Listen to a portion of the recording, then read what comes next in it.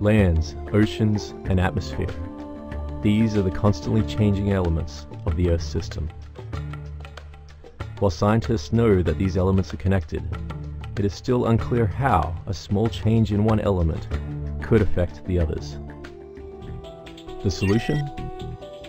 Remote sensing, flying extremely precise instruments in space that orbit the Earth and collect continuous global measurements over long periods of time. For over a decade, NASA's Earth-observing satellites have delivered critical climate data.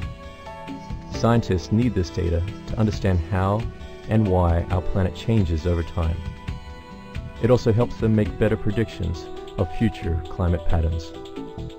Now, NASA is ready to launch a new sensor technology, the Visible Infrared Imager Radiometer Suite, or VIIRS. This sensor will fly NASA's next generation Earth monitoring satellite, the NPOESS Preparatory Project, or NPP.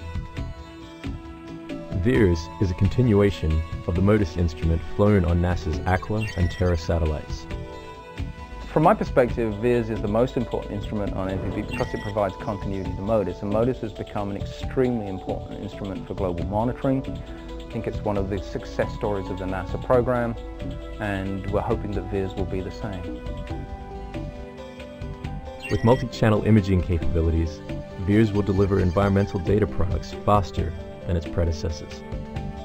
These products include visible and infrared imaging of hurricanes, forest fires, volcanoes, sea surface temperature, ocean color, and atmosphere aerosols.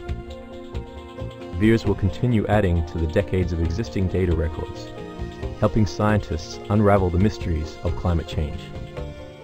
The VIIRS instrument is a, is a scientific measurement tool. It's an instrument that has calibrated measurements of the land surface and it converts those into digital numbers that are then downlinked to a ground station. We would take those observations and then we would use those to provide input to models that we're developing that simulate the processes of the land and to try then to see what happens if some of those parameters change.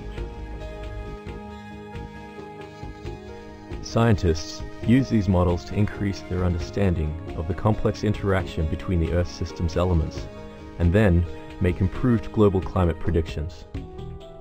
I think the critical thing about the, uh, the VIIRS instrument is that we will get long-term data records and I think if you want to monitor how the Earth's surface is changing we need consistent data records and I think this is why this is so important for NASA science but it's also important for me personally.